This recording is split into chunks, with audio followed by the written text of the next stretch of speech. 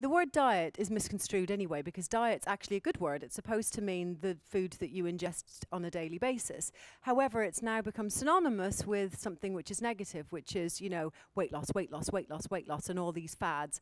Um, the problem with diets is that most often you deprive yourself of something, whether it's no carbs before Marbs, whether it's high protein, which was Atkins, whether it's, um, you know, no fat or low fat, which by the way is so bad for you. Anything that says low fat or no fat, stay well away from it because in order to get it to taste nice, because they've taken the fat out, they pump it with sugar and sugar turns to fat, which is toxic. Um, so yeah, I just any anytime you deprive yourself and your body of something, what happens is your body goes, "Oh, okay, I'm not having that," and then it may shift the weight really, really quickly. We had a girl in here yesterday who said she has no problem losing weight, no problem whatsoever. The problem is once she's lost the weight, she finds it hard to keep the weight off, and then she just gains it back. So I said. How are you losing the weight? Are you depriving yourself of anything by any chance? And she said, Yeah, carbs.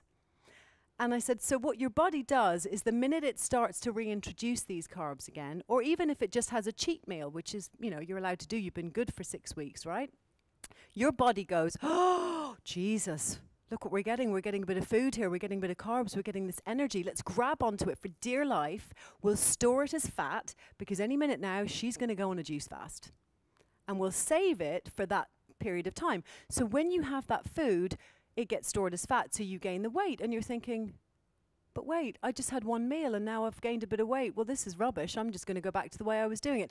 And hence the cycle begins and it's the up and the down and the up and the down that I'm sure a lot of you are used to. And, and it comes back to balance. It comes back to starting out how we were supposed to be when for me it was when I was 17 I was in perfectly good shape. All I had to do was just continue to eat the right amounts of food and the right foods and I would have saved myself 25 years of absolute stress and hell and misery.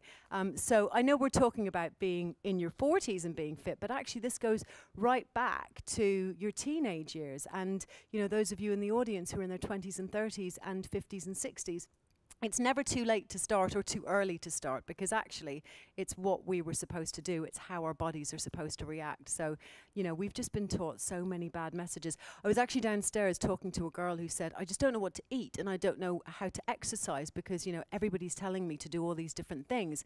And we have so much information being thrown at us in this day and age that it's almost difficult to know which one to do. Um, and I said, well, you know, just I was telling her the right foods to eat, the good fats and the good proteins and the good carbs. And I said, you know, and you should, you know, exercise with weights. And she said, oh my God, but then I'll look like Arnold Schwarzenegger.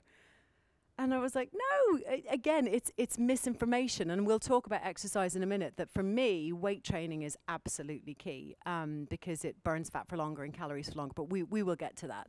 So yeah, it's it's there's so much information out there that I think we've just we've overcomplicated it, and we need to bring it back and just simplify it.